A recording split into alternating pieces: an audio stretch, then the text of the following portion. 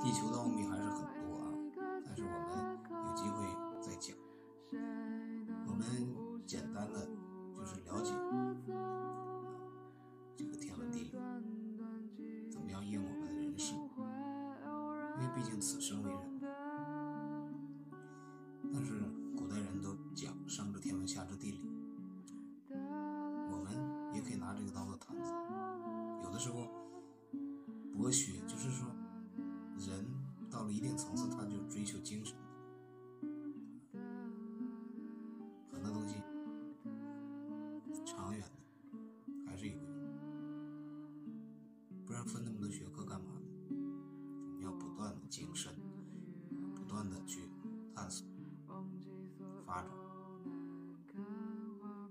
都是有相互借鉴、有作用。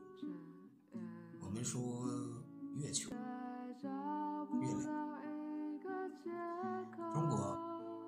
自古就说上面有嫦娥啊、玉兔啊，那些都是神话。但是神话是不简单，我们单独在讲，很多东西都是真的。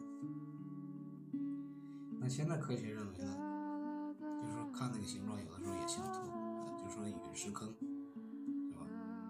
月球它的奥秘，永远它的背面对准了地球。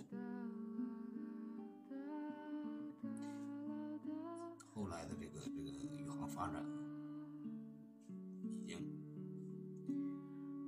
美国登月的时候，已经发现有很多宇宙飞船。在监视着它，就在它周围，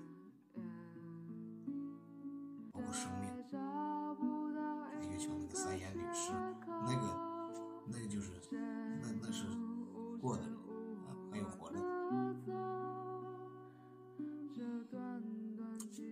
月球是空心的，这个现代科学一致认为，只有这样才符合科学。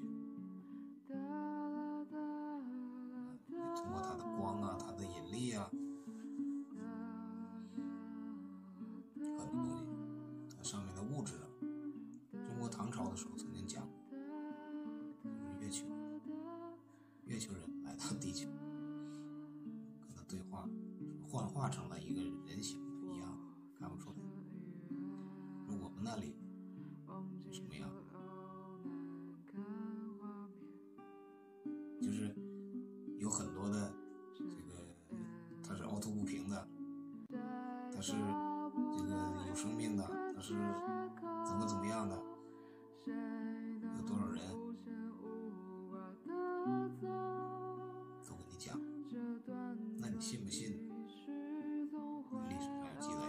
科学通过考察啊，上面还说上面有这个七宝，是吧？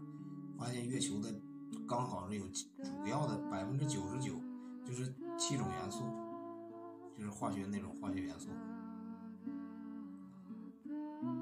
就什么氢氢氦氧氟氖，就就是这这些东西。那怎么搞的这么巧？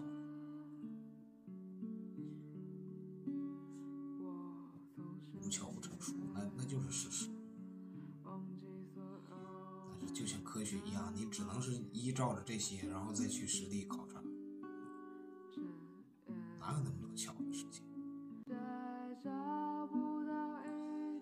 然后这个地球、月球啊，它是有宇宙捕获说，啊，有撞击说，有分裂说，地球和月球分开了，就是就反正有很多学说都不成立，到最后那科学都把自己科学推翻，都是假设，然后再再去验证，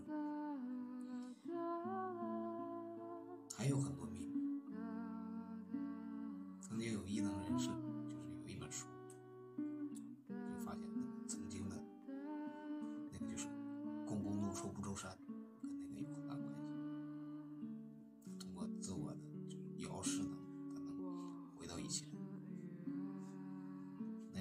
月球是神人造的一个飞船。